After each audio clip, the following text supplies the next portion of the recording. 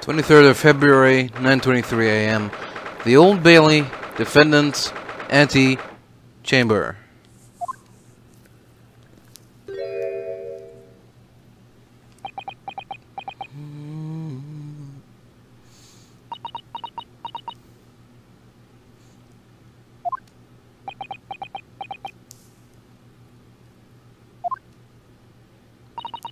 This is it then, Mr. Naruhodo. Yes, it's time to put an end to this now. To the miserable curse that has been plaguing Mr. Natsume. To everything. And in my own small way, I shall do everything I can to help you. I always appreciate your help, Miss Susato. Suffering, Soseki, selfishly sidelined.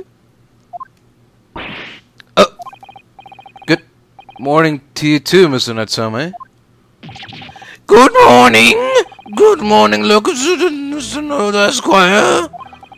Listen to you two chatting away happily as if the main player of today's trial isn't here. Why would you do that? Why? Oh dear, we didn't mean to cause offense, Mr. Natsume.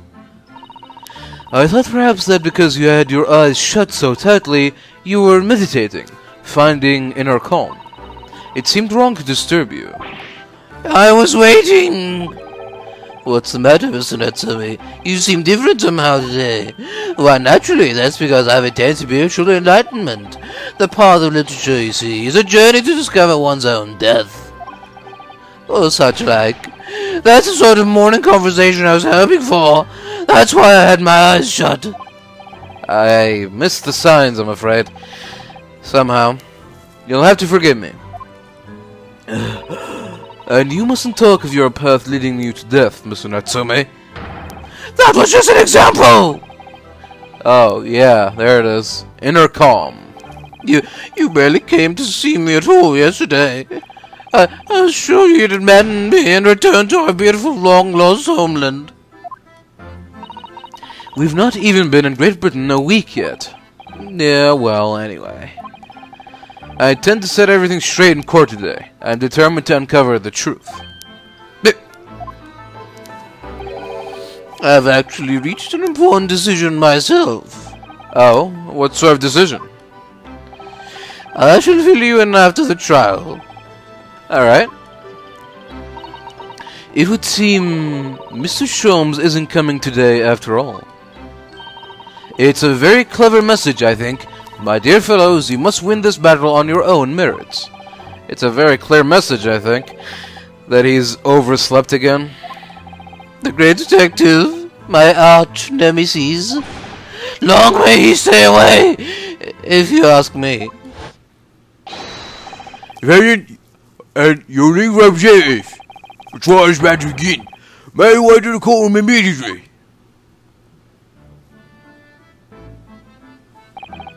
Today, once again, we face the Reaper, and when the Reaper stands for the prosecution, the defendant's fate is sealed.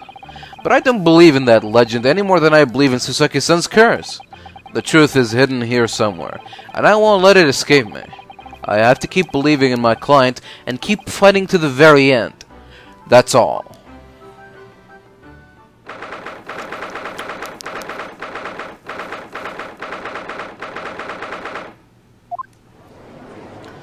In the name of Her Majesty the Queen, I hereby declare this court to be in session. I call upon the counsels for the prosecution and defense to declare their willingness to proceed. The prosecution is ready. Yes, the defense is ready. Very good. And now I call upon the six ladies and gentlemen of the jury, chosen by lot to represent the will of the people in this trial. Are you ready to proceed? Absolutely. Justice will be done. You mark my words. I feel obliged to say I feel especially ruthless on days when my hat is sitting just right. Oh, well, I wonder if you could adjust my hat for me, and please, be as ruthless as you like.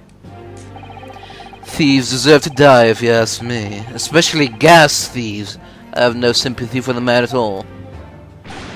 Look, I said it yesterday and I'll say it again now. I don't have time for this. I've got my own problems.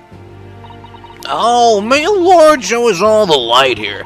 and lead his flock to a righteous verdict again today. Now, Lord Van Zieks, what can you tell us? The prosecution's report, please, for the court, in relation to the theory expounded by the defense yesterday regarding the defendant's tea. So he does have the result.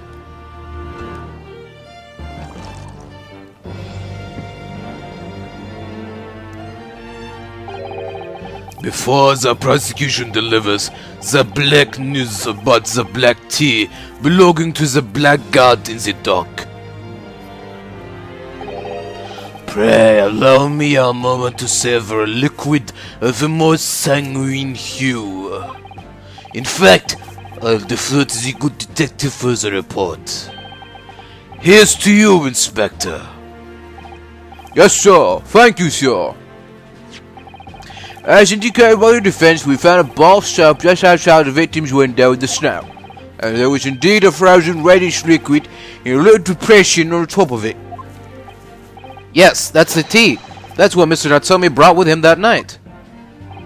Well, the brains of the old analyzing, and yeah, you're right. It was tea. And there wasn't a trace of strychnine or any other toxic substance in it. Uh, no poison at all? In other words, the tea that the defendant brought with him to the victim's room is innocent. It's in the clear. What a revelation!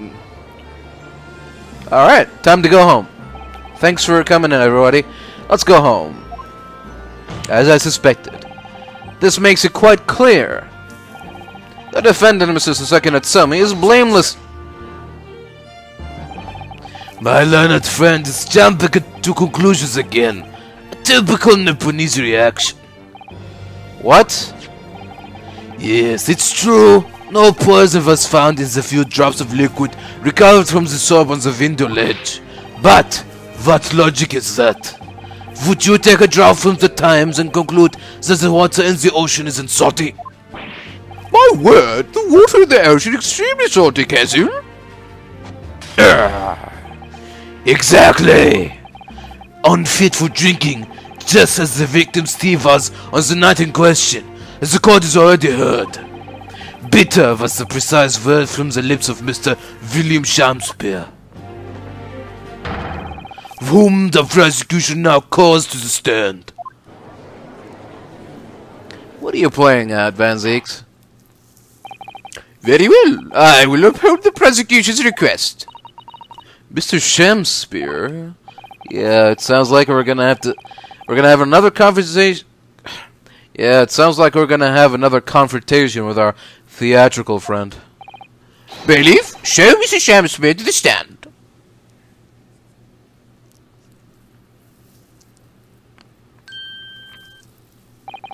Mr. William Shamspeare, the victim of this despicable crime. Oh heaven, oh hell, do command me to remember. Forsooth, 'twas I, Shamspeare, did have a belly full of the foul fluid given in mine innocence. Whatever. Yes, but as was revealed in yesterday's proceedings, the witness is not as innocent as we had perhaps first been led to believe. By using bars of soap ch- such as this, he has been stealing gas from the supply company, yes. One may smile and smile, and be a villain. Forsooth, 'twas I, Shamspeare, did have a room full of the sweet fuel given. That's right. Fellow jurors, don't forget, this man is a rotten thief. I haven't forgotten. Kept all that about the ice cones a tidy secret, didn't you? You should have owned up sooner. Arrest him, I say. Arrest him at once, and let him feel the sting in my tail. Oh, indeed. By dint of vile and cowardly means have I plotted to further mine own need. I confess. Thou wouldst not pardon my sins, of that I am sure. If you acknowledge your wrongdoing, what exactly are you doing here? Cowards die many times before their deaths. And for a coward such as I, death be well deserved. But would it that a still greater crime passeth unpunished?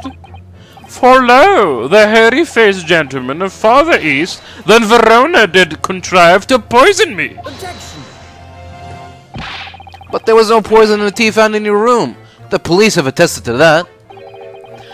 But the defense would assert as an inconsistency will quickly be cleared up by the witness's testimony.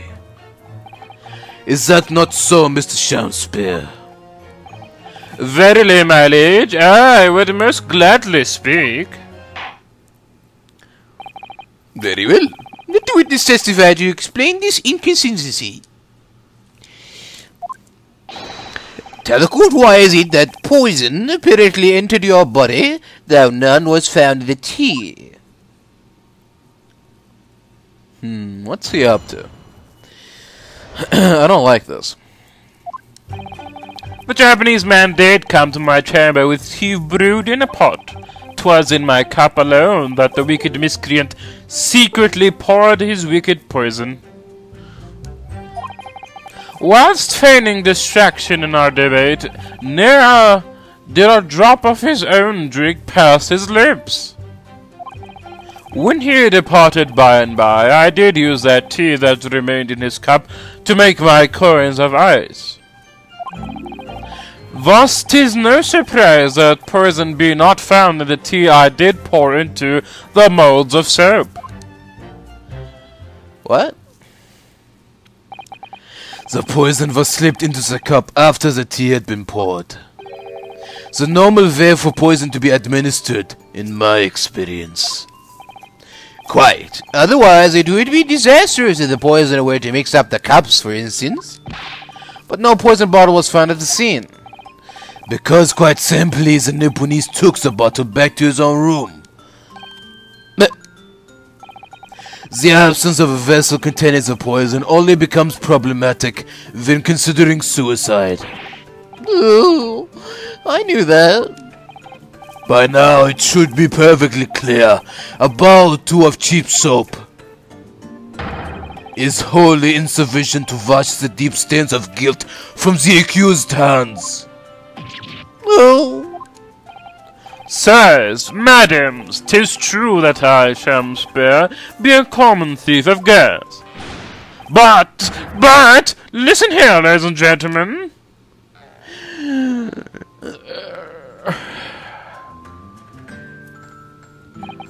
Wherefore would I lie?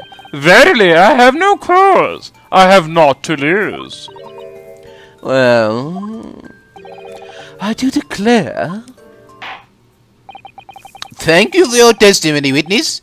Counsel, proceed with the cross examination. Uh, yes, my lord.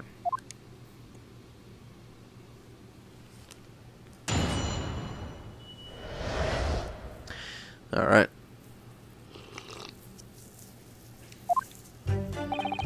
The Japanese man did come to my chamber with tea brewed in a pot. Do we have new evidence? No. Alright. I understand that you were already acquainted with Mr. Natsume. Is that correct? I know thee not, old man. Fall to thy prayers. Do I know thee, or know thee not? Methinks 'tis all I can know that thy destiny mingles with mine. You lost me at the first thee.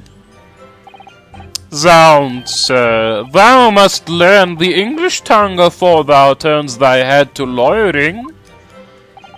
I did, but I must have missed the archaic Elizabethan lecture. Verily and in truth, 'twas a fine flavoured brew. Though a drop of poison did barb its sweetness, as the thorn doth barb the sweet rose. That, dear friends, be the simple truth. Listen to Mr. Shamspeare. He seems in even better form than he was yesterday. Either that, or I'm in worse form. That fated evening, after I did dine at Grub's Grubbery, a local alehouse of good report, naught did pass my lips but the tainted black tea. But behold, the poison was not in the tea at first. It was in my cup alone that the wicked miscreant secretly poured his wicked poison. How do you know that? Are you saying that you saw the moment when the poison was added to your tea? To have witnessed the act and then drank the tea, thou dost describe the actions of a fool. Well, Quite so, quite so. But no one likes getting thirsty, do they? Sooner would I die quenched than parched. Would I have the choice? actually, on the night in question, the water main was frozen, I believe, wasn't it? Were it not for the tea, in sooth I would sooner have died frozen than quenched or parched. Right. No ice coins means no heating. The witness had more than one brush with death on the night in question, it would seem. Hmm. Remind the court, Mr. Shamspeare, as to whether the accused drank any of the tea with which he brought with him. With the greatest of pleasure, my liege. Whilst feigning distraction in our debate, Nia did a drop of his own drink pass his lips. But the teacup Mr. Natsume drank from was found completely empty at the scene. Let's not forget the defendant's maxim, drink tea while it's hot. I did gulp from the poisoned cup that night, and in mine agony did I writhe uncontrolled. In fits of pain I did knock the fellow's cup, and its contents spilt as blood from a gaping wound, methinks. Though certainly 'twas after I had made the coins of ice from his tea. An upset cup was found on the table that the victim was slumped over. There's no contradiction here. It is true, there was no tea left in either cup that we found at the scene. But still, something about this statement is troubling me. Yeah, of course, I know what it is. It's Mr. Natsume's wise drink tea while it's hot maxim, isn't it? No, I'm not sure that's it. Thank you, witness. Now, reiterate for the court what it is that occupied you after your guests had left and before you drank your tea. When he departed by and by, I did use the tea that remained in his cup to make my corns of ice. Yeah, so that you could cheat the gas company, in fact. Isn't that right? To cheat or to die. Tis life's only choice. Yeah. Faith, to cheat be the wise choice, and mine occupation be not an ugly one. Prithee, dost thou not see beauty in the simplicity of the ruse? No, I don't. And be very sure, sir. Once this trial is over, Altamont Gas will take you to task over this legal task. I shall not run, I shall not hide. Sooth to say, I have nowhere to run nor to hide. But, my lady, what wouldst thou with this pitiful player? Oh, I'll tell you what I'd like to do with you, starting with the shoddy shirt on your back. Tis time for a sham spray dance. What a harsh world we live in. The thieving of the gas was addressed in yesterday's proceedings. The prosecution calls on the defense not to muddy the waters with irrelevancy. Consider that a warning, Castle. Y- yes, my lord. Why am I the one in trouble here? Mr. Shamspeare, after the accused returned to his own lodgings, you used his tea to make your coins. Is that correct? To cheat or to die. I did make my choice many moons ago. Thus, tis no surprise that poison be not found in the tea I did pour into the molds of soap. If having first made your special coins, it was after two in the morning when you first collapsed, when you collapsed, that would mean you c- you can't have drunk any tea yourself until around that time. Once ensnared by literary debate, naught else be found in the furrows of the mind. The debate about Romeo and Juliet, you mean? And who was the stronger of the two? Rightly did I pay no heed to the tea as I wrestled with the abominable, abominable fellow. I don't remember debates like that when I was studying. Are you suggesting that neither of you actually drank the tea while it, whilst it was hot that evening? My lord, wouldst thou be privy to some Shakespearean wisdom? Husband, wife, and tea ought I tepid be. Ah, yes, so very true. Everyone has different preferences when it comes to tea.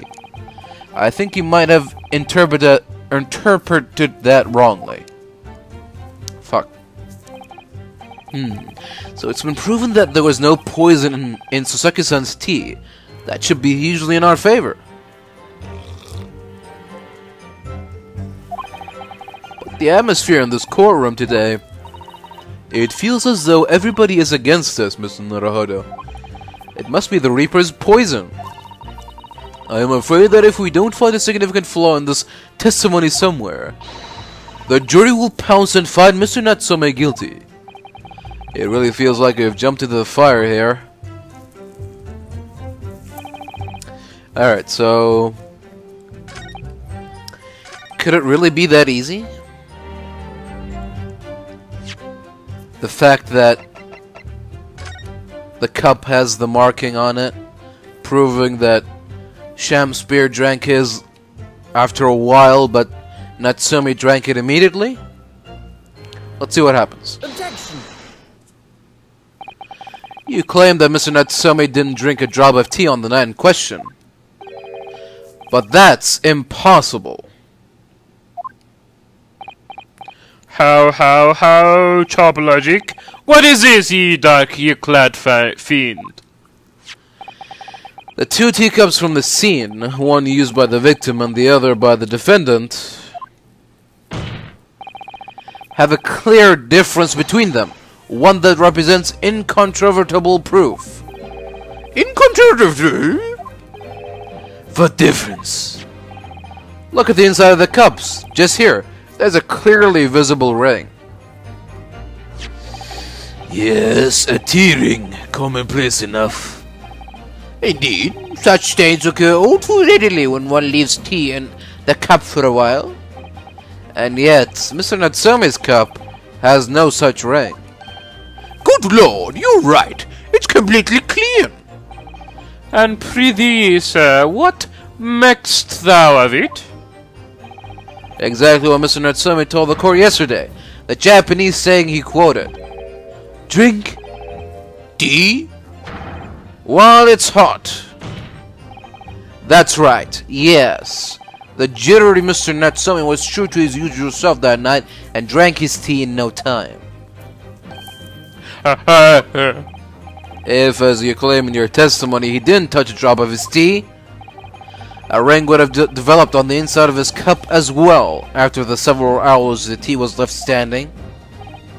but, uh, In short, Mr. Shamspeare, you clearly lied to the court.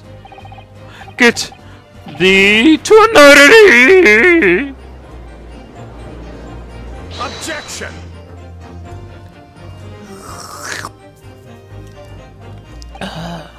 As a rule, I fill my hollow chalice up to seven times during any event trial. You might want to keep that information to yourself. Yet on occasion, tedium distracts me and I pour more times than I intended until the bottle is dry. Your drinking habits are fascinating, but irrelevant. On the contrary, they illustrate the fickleness of human memory. To William Shamspeare. Yes, my liege? So you previously stated that you made the coins of ice from the leftover tea in the accused cup. Could it be that you've uh, perhaps mistaken? Eh? Could it be that... Yes, perhaps there was some tea remaining in the small teapot left at the scene? A fact that had vanished from your memory until now. Faith, my liege, thou art thou thou art a magician. For verily 'tis as though thou hast seen with thine own eyes that night. What? Forsooth, I was mistook. I did plan to use tea from the Japanese fellow's cup, but lo, when I looked, 'twas empty. And thus did I use the dregs that festered in the teapot, as my liege did suggest. And you've just suddenly remembered now that you made a mistake before? Are we supposed to believe that? Objection. People's memories are imperfect, my learned friend, which is why we rely on evidence instead. But, in any case, it makes no difference. The victim's most recent testimony tells us two things of note. Firstly, that the poison was put into the victim's teacup only. And secondly, that this spoiled cup was not the source of the insipid ice coins that have bewitched this court. Hmm. The prosecution makes a fine summary of the facts. Furthermore, that testimony remains valid and in full support of the established facts. In other words,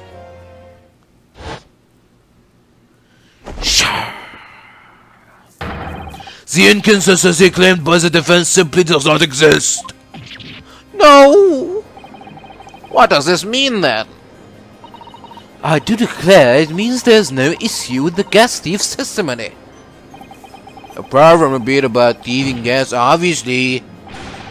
My lords, ladies and gentlemen of the jury, I do solemnly swear, after I did dine at Grubb's Grubbery Alehouse that night, naught did pass my lips but the black tea given me by the Japanese, whose back be stooped as low as death. And on what did you dine, sir? Why, I did partake of my favorites, a broth as wouldst be called soup, and a leaf as wouldst be called salad. As insalubrious to the menu as the establishment where it was served. But you, gods, will give us some fault to make us men. Willingly would I suffer what punishment 'tis seen fit to serve a wicked thief of gas. But I pray ye wise and noble fellows, ne'er forget the simple truth. That be one thing, and this be another.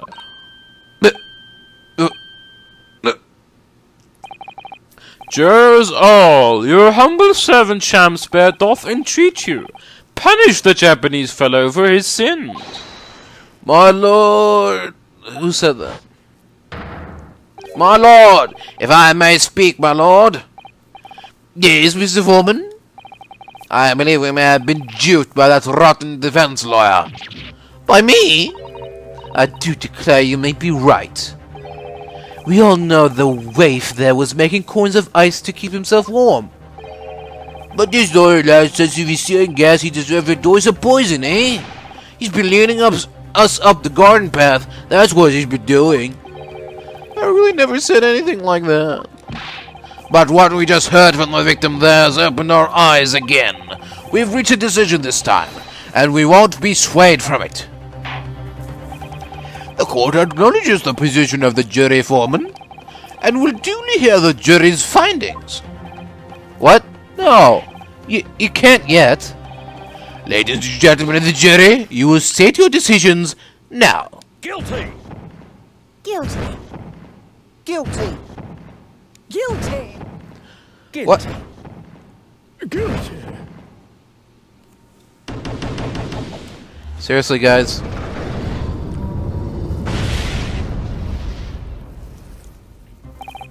I hereby declare the jury to be in one accord. Oh, happy day!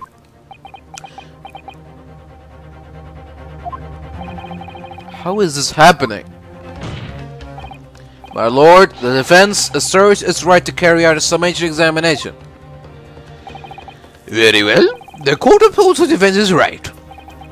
Typical. My learned friend is unable to accept the obvious truth. This trial will therefore enter its second summation examination immediately. Jurors, the court calls upon each of you to state the grounds upon which you find the defendant guilty of the crime of which he is charged.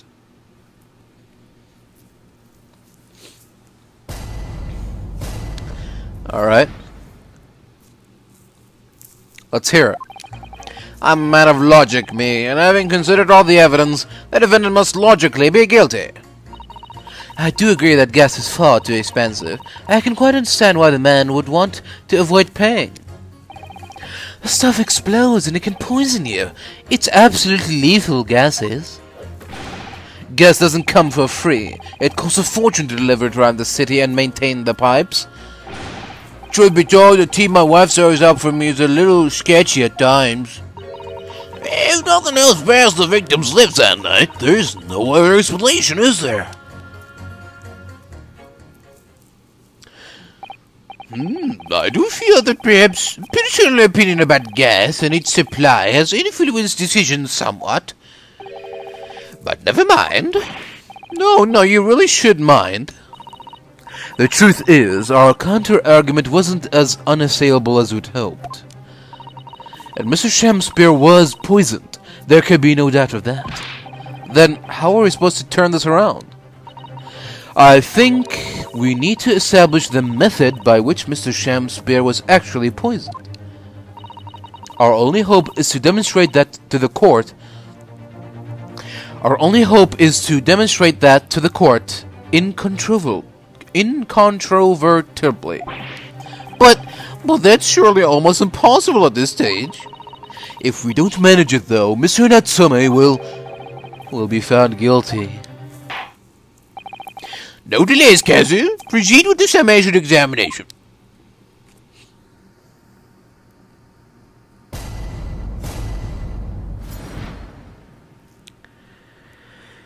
Alright then. I am a man of logic, me, and having considered all the evidence, the defendant must logically be guilty. Hold it! All the evidence, you say? That's right, and there's no room for doubt. It's all pointing at that Japanese man with the big mustache. Says the Englishman with the bigger mustache. Which means we need to show the man some new evidence to make him change his mind. If only we had that kind of evidence. Don't worry, this summation examination has barely started, really. Perhaps there'll be a shift in the situation that shows us an existing piece of evidence in a new light. Let's hope so. To start with, though, I need to find some way out of this deadlock. I do agree that gas is far too expensive. I can quite understand why the man would want to avoid paying. This isn't the time or the place to be discussing the price of gas, madam. But really, think of the injustice. Air is a gas, and air is free. Why should ultimate gas cost money? It, it makes my blood boil. I can feel myself becoming more ruthless than ever. This isn't the time or the place to be ruthless either. If I might interject here... Uh, yes, madam? It seems my fellow juror takes issue with the price our company charges for gas. But it's precisely because of thieves like this man that the cost goes up. Oh, what a beastly man. That unkempt moustache, those hunched shoulders, poisoning tea and stealing gas, utterly unforgivable. No, no, Mr. Natsume isn't the one who's been stealing gas. I'll thank you not to go adding on more crimes. Mr. Natsume hasn't, hasn't been poisoning tea either. Well, anyway, I've quite made up my mind. It's as made up as the price of gas.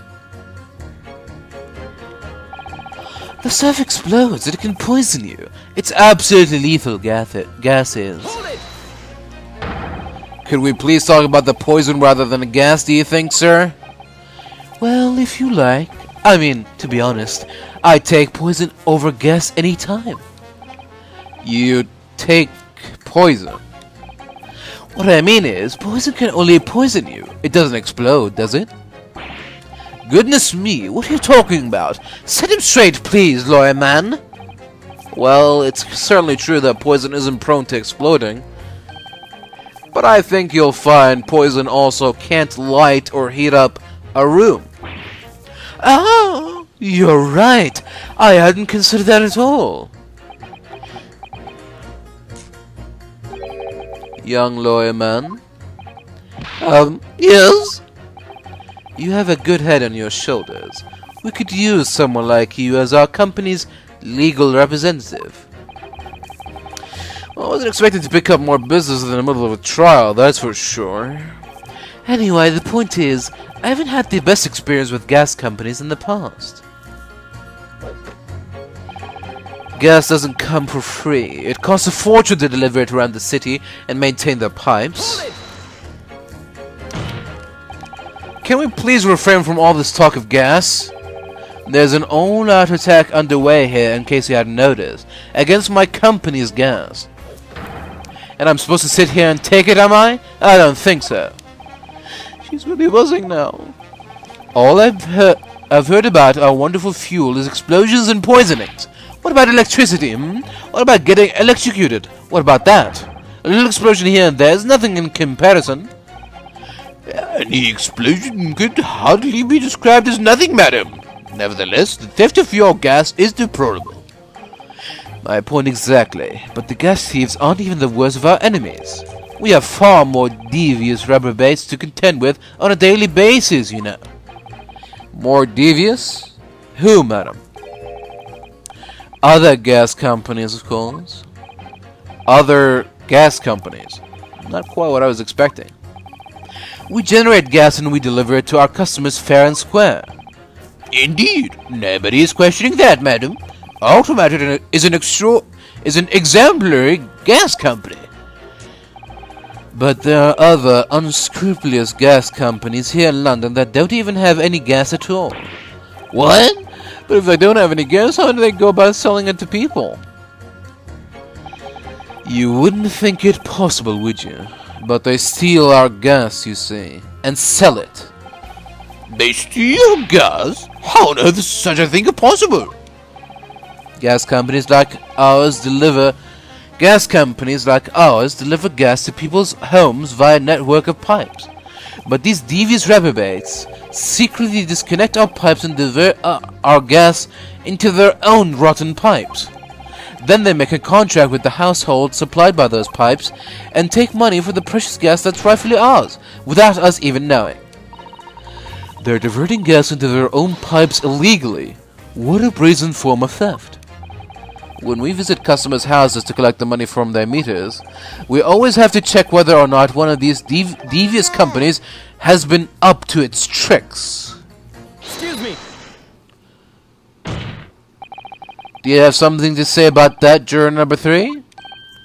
Oh, golly, you mean me? I I'm terribly sorry. I was just thinking to myself. I really did catch him off guard there. Thinking about what the lady next to you was saying, correct? Well, yes. I just got a little riled about it recently, you see. Go on. An ultimate gas worker visited my house the other day to investigate the pipe work. We need to ask for your cooperation while, while we carry out a secret check of your property, sir, the fellow said. So I let him in, and do you know what he did? I'm uh, afraid I have no idea. Please tell us. He proceeded to take one of my lights off the wall. Then he grabbed the exposed mouth of the pipe and started blowing into it. What do you think you're doing, young man? You're giving away company secrets here. Oh, please. Everybody knows. But it was very ne nearly the death of me, I can tell you. What do you mean? I'll explain if you don't mind. As I said before, these unscrupulous other gas companies connect their customers to our pipe network. Yes, but how does that how does blowing into the pipes come into it? Obviously there's gas in the pipes, and it's at a fairly low pressure. By blowing air through the pipe, you can make the pressure drop temporarily. Uh, and if you do that, any lights connected to the same pipe will flicker for a moment. Ah, I see. In other words, if upon blowing into the pipe the lights of an adjacent property that has no contract with your company flicker, you can know that these devious scoundrels have been meddling with the pipes. Exactly, my lord. That's it in a nutshell. It's the reason why we have teams of workers workers going around neighborhoods to investigate which lights flicker. The trouble is, the particular worker who came to my house didn't know the strength of his own breath. He blew down the pipe with all his might, and you can guess what happened, can't you? Well, if he blew hard, then... Wait, you mean... That's right!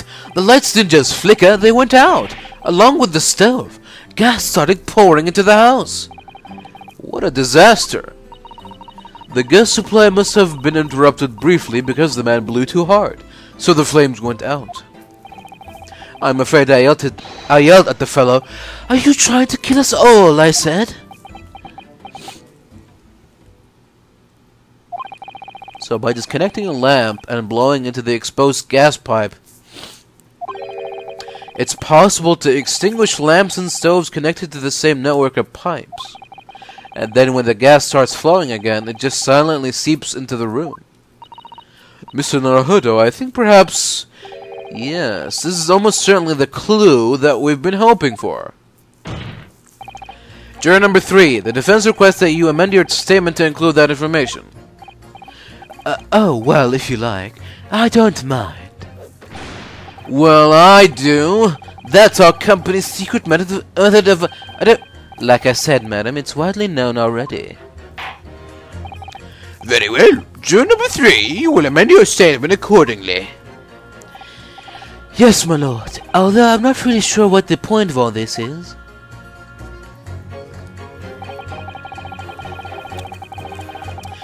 Blow too hard into a gas pipe and, ex and you extinguish everything in the house. And then you're in real trouble. When you say extinguish everything in the house, do you mean everything? Even on different floors? Oh yes, all floors are connected to the same pipe after all. That's true of every building, because gas supply contracts are issued for whole properties. Well, I had no idea that it was possible to extinguish gas appliances simply by blowing down the pipe. It's not something we would like to publicize, to be honest, but we have to carry out these investigations, as I'm sure you can appreciate. Indeed, it has been mentioned on more than one occasion in the papers, even. Is that so? It's been mentioned to me too, very recently. An incident involving the gas stove going out inexplicably, almost leading to someone's death. Mr. Naruhodo, I think perhaps... Yes, it's finally starting to fall into place. The secret link that joins all of these strange occurrences. Gas doesn't come for free. It costs a fortune to deliver around the city and maintain the pipes. Truth be told, the tea my wife serves up for me is a little sketchy at times. You you mean it's poisoned? That's right. It's happened to die a few times now. This is most startling indeed. It's always days like this one when I don't get any wages. I get a tea time, see? And as you're doing it, my wife. She gets that devilish look on her face and she slips some white powder into my cup. And and you drink it anyway? See, I was brought up proper I was. If someone gives you a cup, you drink it. And what happened to you? What did it taste like? It was god awful, believe you me. Salty as hell.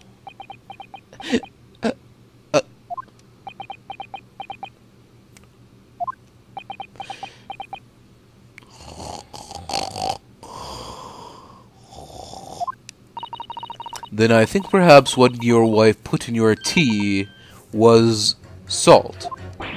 No! So, she doesn't even care enough to poison me properly, eh? Unbelievable. Let's move on, please.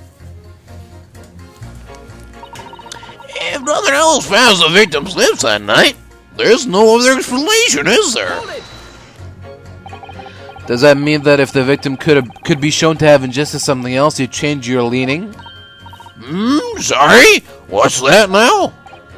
Oh, um, I was just saying, if the victim did actually eat or drink something else on the night. What's the matter with you? Sorry?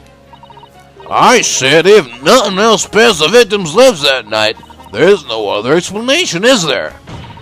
Haven't you been listening? Haven't you been listening to me at all? I feel there is an English expression about a pot and a kettle that's appropriate here. Compared to the other jurors who don't even appear to have anything to say about the case at all, it would seem that this elderly gentleman has been listening to the proceedings far more intently. I, I suppose. The trouble is, he has selective hearing.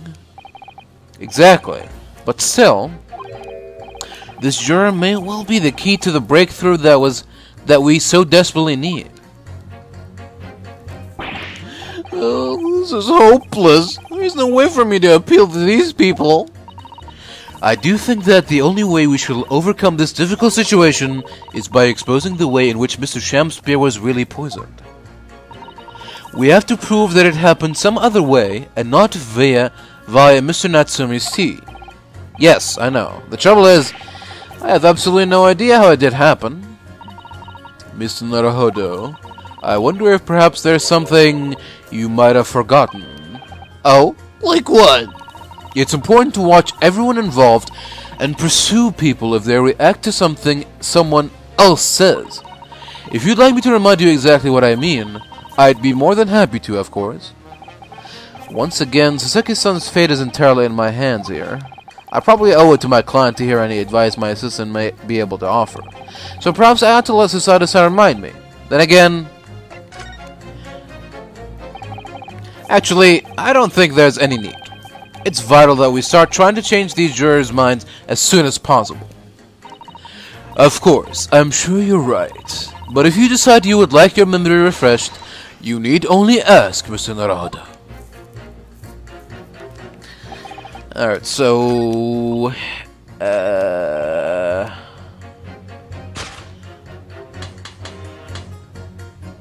Objection! These two statements clearly contradict each other. Good gracious! Do you say Mr. Fair Counsel?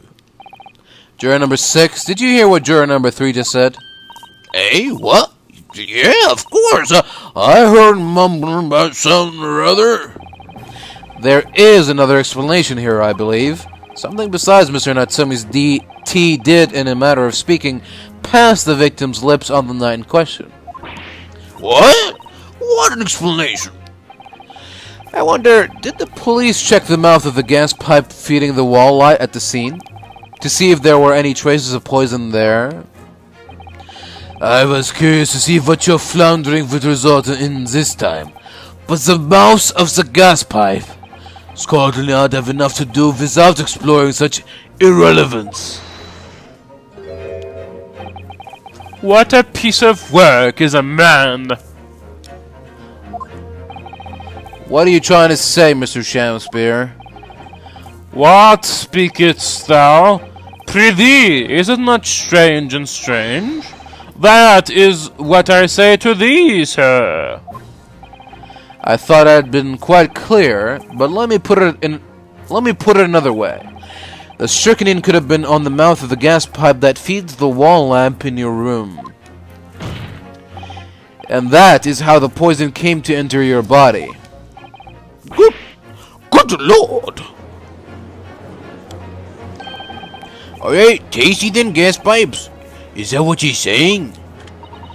Or is the gentleman suggesting that the poor man was so desperately hungry he tried to fill his belly with gas? Perhaps no actress would perform a kiss scene with him, hmm? For shame, madam, speaking thy fancy. I assure you, I'm not such a buffoon that I have to kiss pipes. Objection! This is no summation examination. This is a farce. The prosecution will not stand for any more for any more of my learned deputy's friend's conjecture. To begin with, the lamp in the victim's room is high on the wall. In order to have placed his lips to the pipe that feeds it, he would have he would have to be a control contortionist. These are empty assertions. There's no possible proof that the man did as you say. It's true, I have no proof that Mr. Shamspeare put his lips to the pipe. However, I can say with some certainty that on multiple occasions, Mr. Shamspeare has been doing something in front of the, in front of that lamp on his wall. And I have evidence to prove it. Alright, you've got our attention, lad. I'd like to see how you can be so sure of yourself. So would I. Let's see this evidence then. Now that I've got the jury's ear, I need to make this opportunity count. This is the proof that time and time again Mr. Shamspeare stood in front of this gas lamp. Take that! What the? These are... Wait, what are they called? Yes, skin prints that were found at the scene. Skin prints, Council? I've never heard of such things. The Justice Ministry is currently assessing whether or not to permit fingerprints as evidence in court, however. My lord, this is an exciting new forensic technique developed by the great detective Mr. Sherlock, Mr. Sherlock Holmes. It reveals all of the places that Mr. Shamspeare touched in his room. I've never seen anything like it. I mean, that's black, black magic, isn't it? Mm, well, if anyone could invent something like this, it's that great Sholmes fella, that's for sure. I agree. This month's edition of Engineering Thumbs was quite fascinating. We found skin prints in many places that you would expect on the table, on the costumes. However, Mr. Shamspeare also appears to have been touching some very unexpected places in his room. For example, here. Around the hanging picture there, indeed, multiple handprints appear to be visible. Well, I wonder, could he have been appreciating the artwork, perhaps? At first, my colleagues and I thought the same. However, imagine standing with your hands where those prints are, and you would find yourself directly in front of... In front of... Uh, I don't believe it! The gas lamp. The gas lamp. Though the reason why isn't immediately immediately obvious, it's clear that Mr. Shamspeare has regularly been standing with his hands to the wall in front of that lamp. Right, what have you been up to, you nut? I'd ask the court to recall juror number four's earlier statement. Me? What did I say? You said that blowing into a gas pipe would make the lights in the entire building flicker. And now, if you'll recall juror number three's statement. What? Me now? When the gas worker who visited his home blew with too much force into the pipe, it caused all the lights in the gas stove to go out, and gas to start leaking into the rooms. Obviously, that incident was an accident. However, the simple fact is, if Mr. Shamspeare were to have blown hard into the gas pipe here in his room, he could have extinguished every other light and gas stove in the building at will. Crikey! Uh, are you suggesting that the man purposefully caused the gas to... Objection!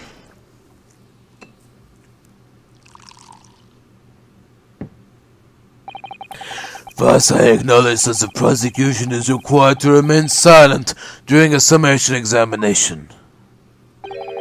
I must toast my learned friends utter disregard for the letter of the law. What is the meaning of this, Lord Van Zieks?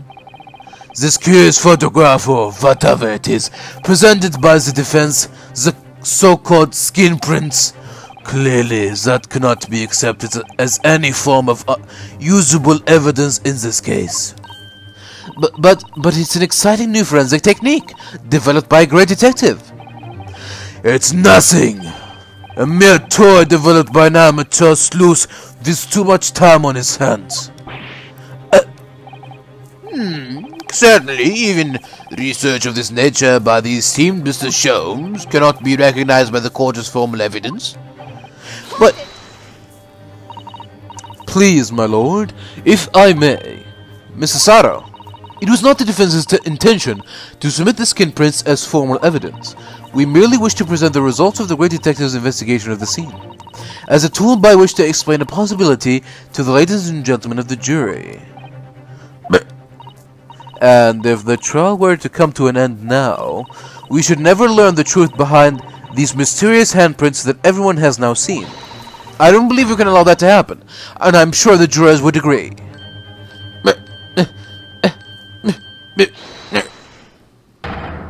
You're right.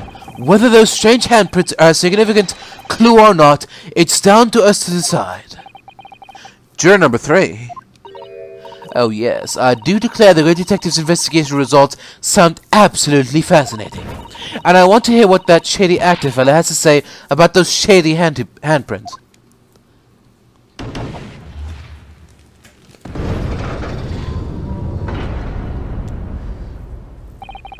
What's the matter with you two? That was foolhardy. Well, I did say it, didn't I? And I don't like to break a promise. No, wait. You heard his lordship. It's not fair, Dinkum.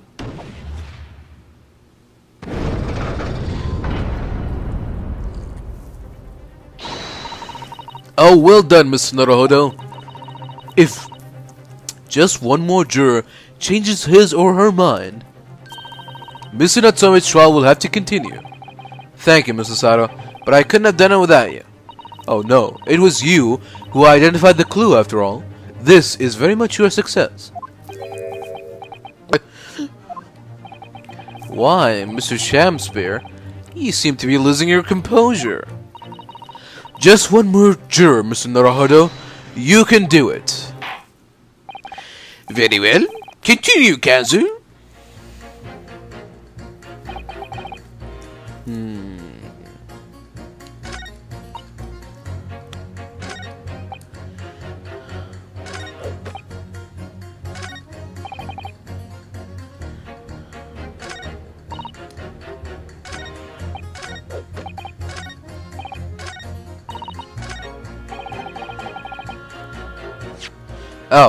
Okay. Oh. Uh, press? All the evidence, you say? That's right. And there's no room for doubt. It's all pointing at that Japanese man with the big mustache. Says the Englishman with the bigger mustache. Uh, well, the defense just made another possible explanation for the events on the ninth question. What do you make of that? What, your so-called skin prints? It is an exciting new forensic technique. It is an exciting new forensic investigation technique developed by the great detective himself. The numerous handprints on the wall are clearly out of the ordinary. And if Mr. Shamspeare had, had indeed put his mouth to the gas pipe on the ninth question, it can't be denied that there's a possibility that that's where the poison was. Well, yes, I won't deny that it's playing on my mind. But as the prosecution rightly says, we should pay no heed to unacceptable forms of evidence. And besides, yes, even if the fellow has been up to some mischief with the gas pipe dozens of times before, it doesn't mean he got up to the same shenanigans on that question, does it? Oh, if you can't make your case better than that, I'm afraid I can't change my stance. Hmm, you do make a very valid point, sir. What? Hmm, true. Perhaps I was a little hasty. No, no, no, wait! Look, you've got your chance here, haven't you? So it's time to prove your theory. If you and your Japanese cohorts can, that is. Just leave, leave our nationality out of this, please. Mr. Naruhodo, if you can't substantiate our position, I'm afraid the jurors that changed their minds before may very well change them back. What can I do? Is there any more proof I can give here? Can I show that Mr. Shamspeare really did blow down the gas pipe on the night question? Uh,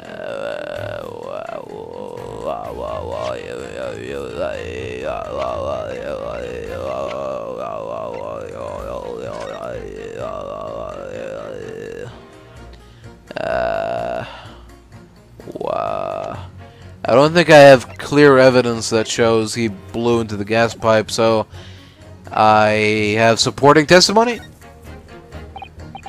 No, in truth, I don't have evidence to support my theory. However,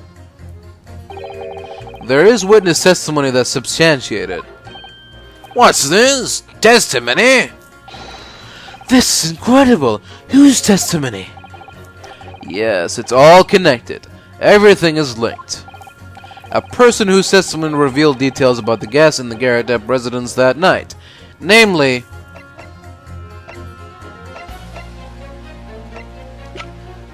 well, uh,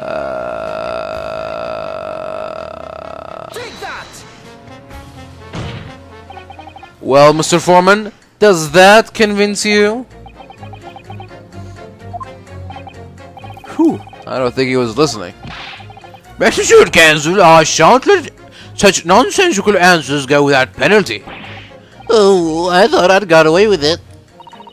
A witness who spoke about the gas on the night in question. Yes, there was someone. That's what I thought too, but I obviously chose the wrong person. Hmm. Who else testified? Shamspeare Nuts Natsume, maybe?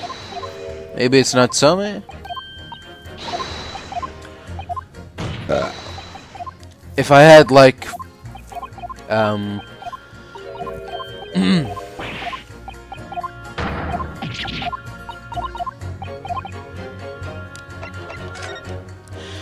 if I if I had like brief um like you know very bottom line testimonies so I can I can remember which each one of them said uh! Natsume? Obviously, I'm talking about the defendant, Mr. Soseki Natsume himself. The defendant? At the very beginning of the proceedings here in court yesterday, Mr. Natsume said the following. My There's been a whole series of strange happenings in my lodgings. Even on that fateful night it happened, when I returned from Mr. Shamspeare's room. I lit my gas stove and climbed into bed. But before long, the stove went out, and somebody tried to kill me. On the night in question, the gas in the defendant's room went out. So I asked the court, was that a mere coincidence or not? Good golly! So that Shamspeare fella blew air into the gas pipe to make the man's stove go out on purpose? Now hold your horses there. What would you do that for?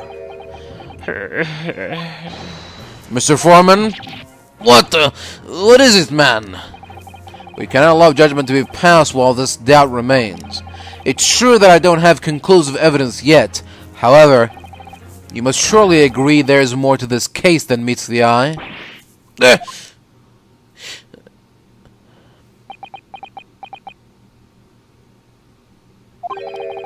Fair enough. Like I said at the outset, I'm a man of logic, first and foremost.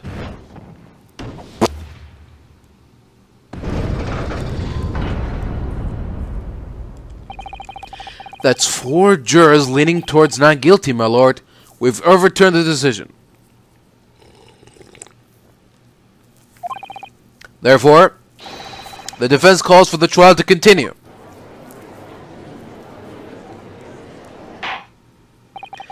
As the defense has rightfully indicated, a summation examination has concluded with a majority of jurors altering their decisions.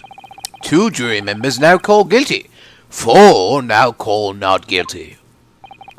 Therefore, the jury's opinion is conflicted, and, in accordance with the laws of this land, I hereby order the continuation of this trial.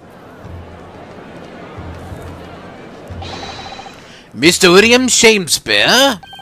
My lord, how can thy humble Shamspeare serve thee?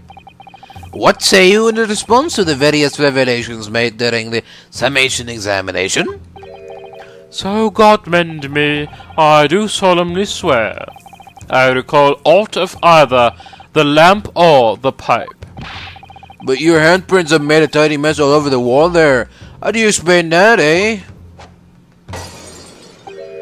I am done with this. The dignity of this great courtroom has been solid enough already.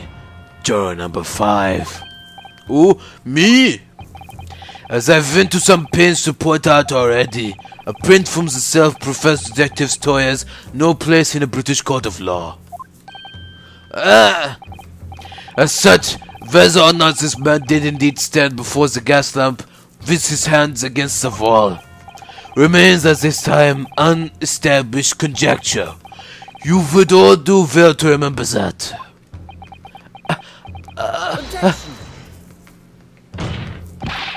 But the prosecution must concede that it would be extremely simple to verify. Just order the mouth of the gas pipe feeding that lamp in Mr. Shamspeare's room to be examined. If there are traces of poison there, What appears to be extremely simple is my Nipponese friend's mind. You recall that in order to check for the presence of poison in the tea, some remnants of tea were required. yes, Therefore, it shouldn't be beyond your wit to imagine that even if poison were to have been spread on the pipe, it would have completely evaporated by now, making any analysis impossible. Uh, I didn't think of that. In any case, Counsel, I fail to see what could possibly have motivated the man to do as you describe. Why on earth would this fellow have wanted to blow air into the gas pipework where he lived? There's only one possibility that I can think of, and that is to use the leaking gas to commit murder.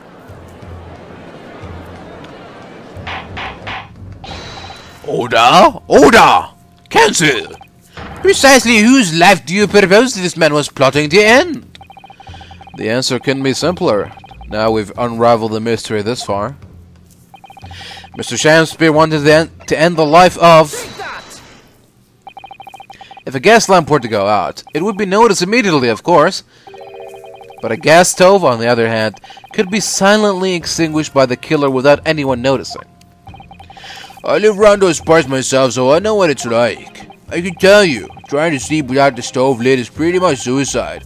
You'll freeze to death in no time. Mr. Garrideb, the landlord, has a large fireplace in his part of the residence on the top floor. In other words, it wasn't the landlord, but a fellow lodger whose life Mr. Shamspeare was trying to end. Outrageous! I'm talking, of course, about the defendant. Mr. Natsume isn't the villain in this case. He is the victim this man was trying to murder. Good gracious!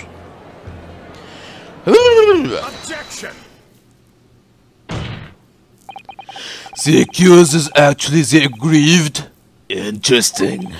However, the fundamental facts of the case remain unchanged. Namely, that the accused is the aggressor here.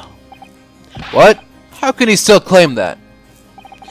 Let us indulge your fancies for a moment and assume that there was indeed poison on the mouth of the gas pipe. The question is, the question that then arises is, who put it there? Who did put it there?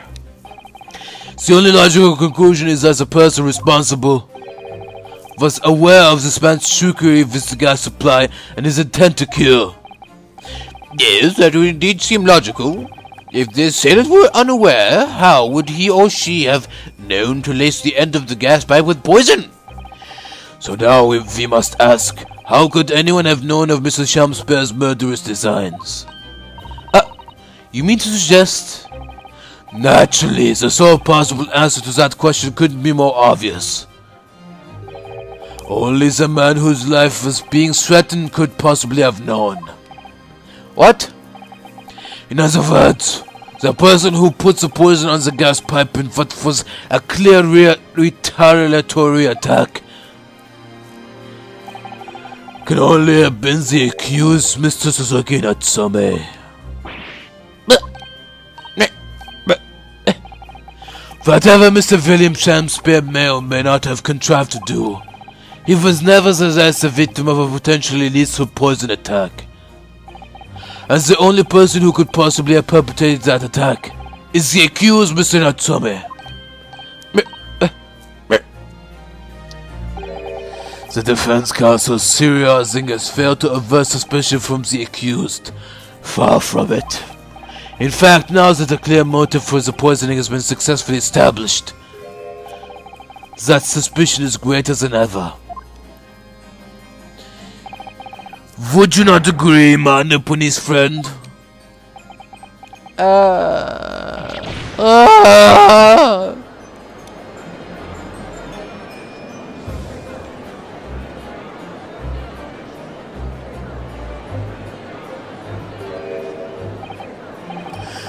Did he manage to turn that around on me so rapidly? Mr. Naruhodo, you must respond. Otherwise, the members of the jury may very well change their leanings against us again. And this may be our last chance to gain the advantage. what, what advantage? Well, it would seem that somebody put poison on the gas pipe in Mr. Shamspeare's room.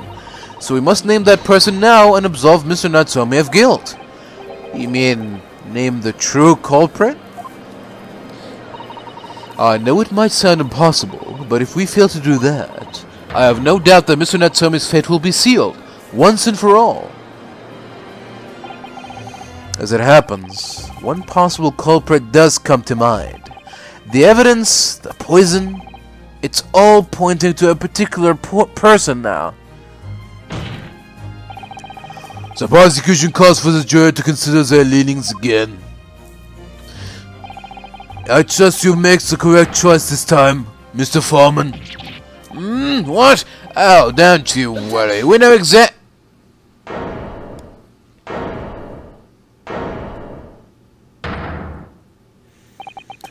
There's one other person who I believe could have been involved in all of this. The true culprit of this crime. The true culprit? A term found only in second-rate novels featuring third-rate great detectives, my Nipponese friend. But why not? This farce has gone on for so long already, I see no reason to cut it short before its disappointing climax. Thank you.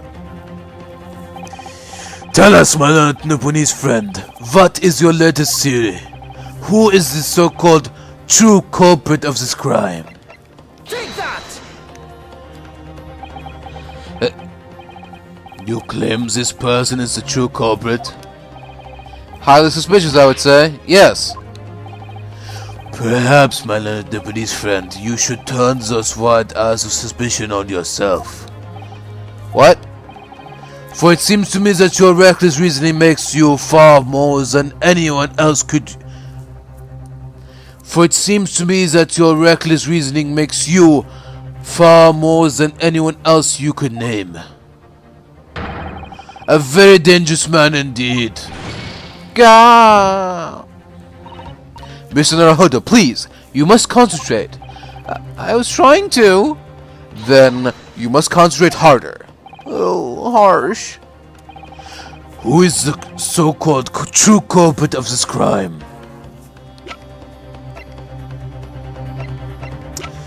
Someone who knows about the gas pipe? I mean.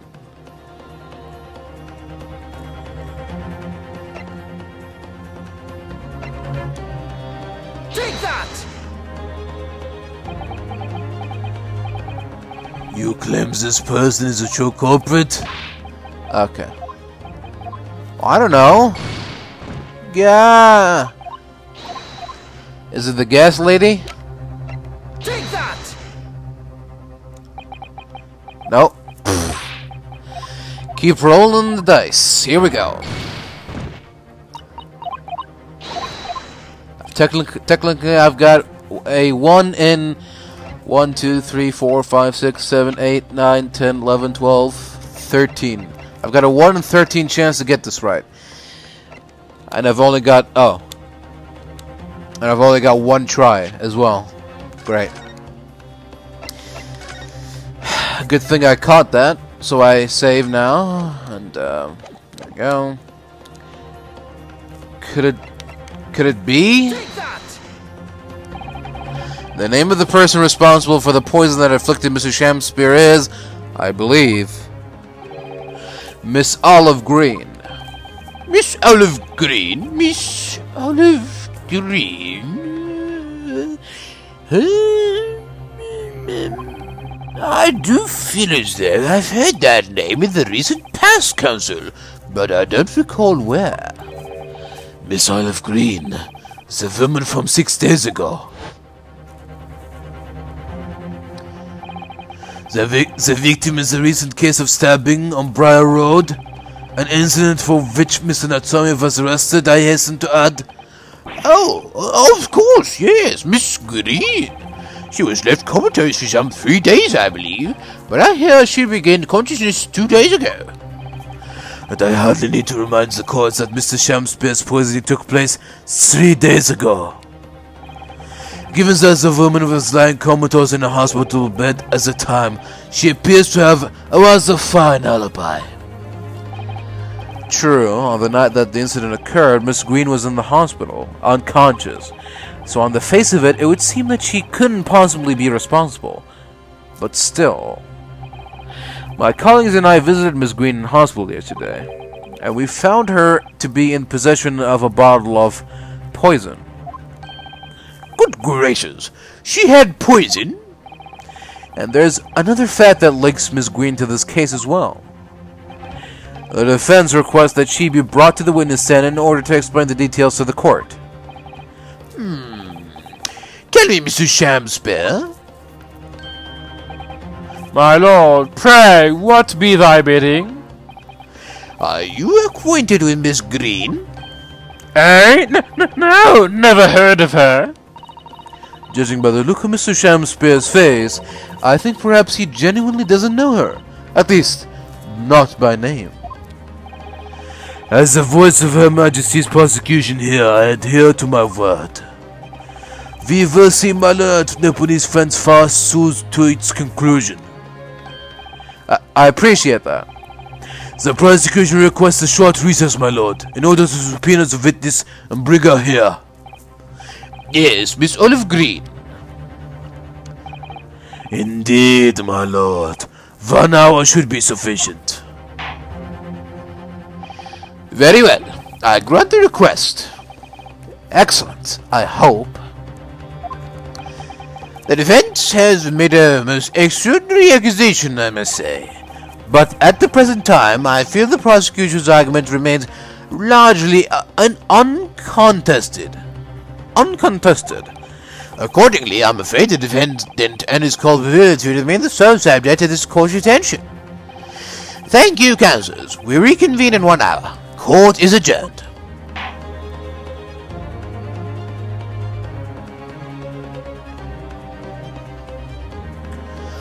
To be continued. Farewell, my learned friends.